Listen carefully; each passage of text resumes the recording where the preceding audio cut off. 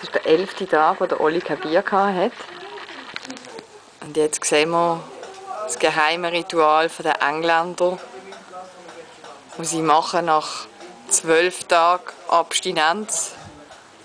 Kreuzentdecke und wir warten gespannt. Er löst sich nicht auf, das ist schon mal ein gutes Zeichen.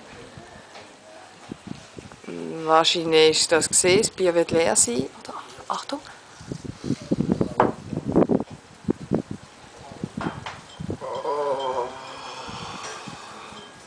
Das ist der erlösende Stöhner. Gewesen.